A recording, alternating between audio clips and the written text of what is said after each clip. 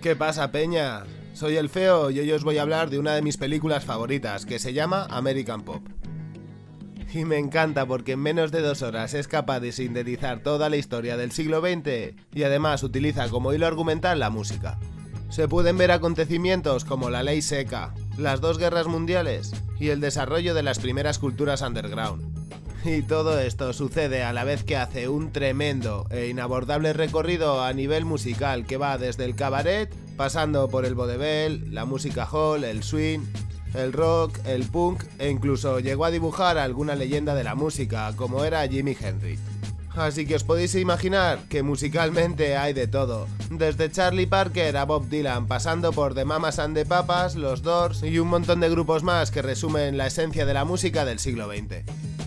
Bueno, yo creo que esto como presentación es suficiente, así que si quieres acompáñame porque vas a viajar a una experiencia única con American Pop. Lo primero vamos a ver quién está detrás de esta animación que es una obra de arte y una auténtica genialidad. La idea fue pensada y ejecutada por Ralph Bakshi, que es un animador norteamericano que saltó a la fama con una película titulada Fritz the Cat, que dentro del mundo occidental fue considerada la primera animación para adultos. Pero vamos, que si visteis mi capítulo sobre el animerama del que hablé hace un par de semanas, ahí se ponía de manifiesto que ya unos años antes ya se había hecho la primera animación para adultos. Y bueno, total, que esta era su sexta película y venía de hacer El Señor de los Anillos, una cinta de la que se inspiró Peter Jackson para hacer su versión del libro de Tolkien, y del que por cierto también hablamos en otro capítulo de la Filmoteca Maldita. Sobre su difusión os puedo decir que le fue bastante bien en taquilla, pero que por problemas de derechos de autor no fue lanzada hasta 1998 en plan doméstico. Vamos, que se pudo ver en el año 81 en cines y tuvieron que pasar más de 25 años para que saliese en VHS.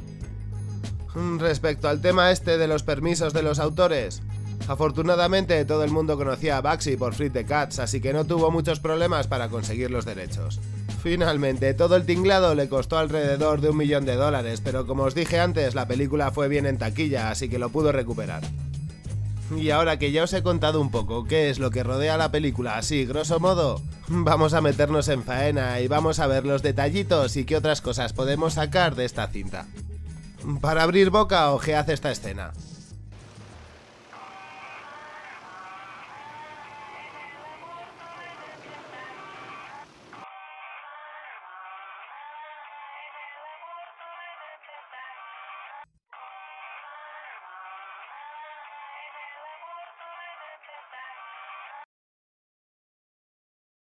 Sé que las imágenes son fuertes y que te dejan bastante atrapado, pero ¿os habéis dado cuenta de este detalle? Veis, aparece la palabra triángulo. Y está haciendo referencia al incendio que sufrió una fábrica textil neoyorquina durante el año 1911. El fuego se produjo debido a las malas condiciones a las que estaban sometidas las trabajadoras. La fábrica estaba colocada en los pisos más altos de un rascacielos, y como no existían salidas de emergencia, finalmente muchas de las trabajadoras acabaron tirándose por las ventanas. La situación fue dramática, y ese día pasó el imaginario colectivo de todas las mujeres, ya que es uno de los acontecimientos que tomaron como bandera para el Día Internacional de la Mujer, que es el 8 de marzo. Y la verdad, no es para menos, porque el fuego causó la muerte de 146 personas, de las cuales 129 eran mujeres. Bueno, pues toda esta increíble lección de historia solo pasa durante 30 segundos y si no estás pendiente, ni te enteras. Pero no os preocupéis que para eso hago el vídeo, así podéis disfrutar de los detalles que igual pasan desapercibidos. Por ejemplo, otra cosa curiosa. La película arranca allá por el año 1890, 1900, principios del siglo XX. Pues la primera escena que se ve está hecha como si fuese cine mudo. Y la verdad es que me pareció una idea súper acertada.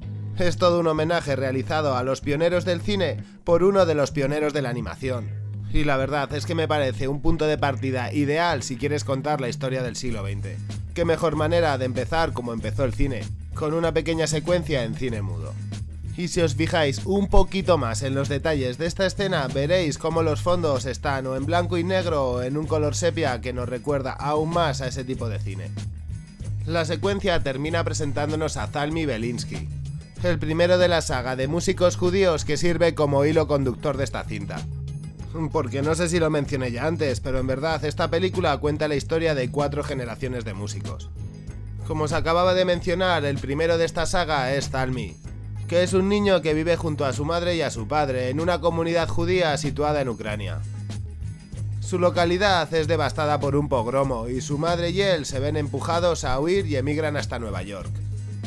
Estamos en los primeros años del siglo XX, que son los años del cabaret, de los shows desenfrenados a ritmo de música en directo con orquestas y acompañados por shows de variedades. En ese mundo el niño poco a poco se va haciendo un hueco hasta que estalla la Primera Guerra Mundial. Ese suceso le cambiará la vida y romperá todos sus sueños con el mundo del espectáculo. Pero eso no evita que canalice sus aspiraciones a través de su esposa y de su hijo, que se llama Benny. Este último resulta ser un genio precoz del piano. Y es así como saltamos a la segunda generación de músicos de la familia Belinsky. Benny nos servirá como guía para entender cómo era la música y la gente, y los acontecimientos más importantes también, de esa época de los años 30 y 40. Por ejemplo, le veremos relacionarse en el ambiente de los bajos fondos y de los mafiosos, con gente como Capone a la cabeza y Baxi le dedicará una escena preciosa a la violencia que se sufrió durante los años de la ley seca. Esta parte de la cinta irá acompañada de música jazz, y merece especial atención el contraste que se crea entre una música tan bonita como la que se escucha y las imágenes de violencia explícita que se ven de la guerra.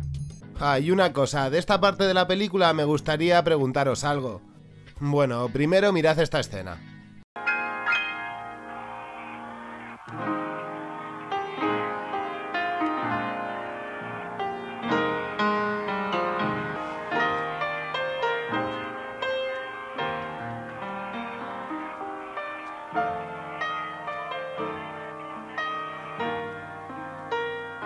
Esta película es de 1981, pero juraría que lo he visto en alguna película de después. ¿Seríais capaz de decirme cuál? Para el que acierte y me diga en qué películas se ve, pues prepararé un regalito. Y bueno, vamos a continuar. El tercer salto generacional corre a cargo de Tony, y este chico representa el inconformismo de la generación inmediatamente posterior a la Segunda Guerra Mundial. Dentro del corazón de este personaje está el deseo de conseguir el éxito.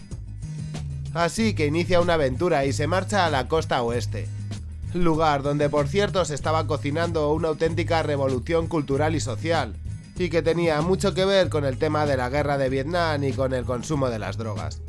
En esta parte de la película veremos cómo la música sale de ese ambiente local para convertirse en un fenómeno de masas. En esta parte es donde tal vez encuentres más canciones que te puedan sonar, ya que escucharás a Bob Dylan, de Mamas and the Papas, de Doors, e incluso veremos un ratito a Jimi Hendrix, como os decía anteriormente. El ambiente de Tony es diferente del de su padre y del de su abuelo. Él se mueve junto a la generación hippie, donde el consumo de drogas está al orden del día, y el sexo ha dejado de ser un tema tabú. Se trata de una generación nueva, distinta y que no tiene muchas esperanzas de futuro. Aunque finalmente esa desidia hacia el mundo será canalizada en mayor medida por el último de los sucesores de esta generación. Se trata del pequeño Little Pete, que cierra el ciclo iniciado por Zalmi 80 años atrás. A través de la mirada de este pequeño se muestra el decadente escenario del Nueva York de la segunda mitad de los 70, donde el género musical en auge es el punk. Aquí sí se puede ver a una generación totalmente hastiada y que no ve ninguna proyección de futuro. Reflexionando, este parece que es un pensamiento que no ha cambiado mucho en los últimos 50 años. Y eso es para reflexionarlo, Peña. Os he contado un poco la situación en la que están cada uno de los personajes sin spoilearos nada. Pero aún así se quedan muchos detalles por mencionar, ya que la película contempla los acontecimientos más destacados del siglo XX en la historia de los Estados Unidos, y por lo tanto del mundo occidental. Por ejemplo, aparte de las dos guerras mundiales, también veremos la de Corea o la de Vietnam. Por otro lado, se mostrarán otros momentos que son más locales, típicos de los Estados Unidos, como por ejemplo el juicio de Joe Balachi, que decidió cantar delante del Departamento de Justicia de los Estados Unidos, algo que sirvió para desestructurar toda la mafia.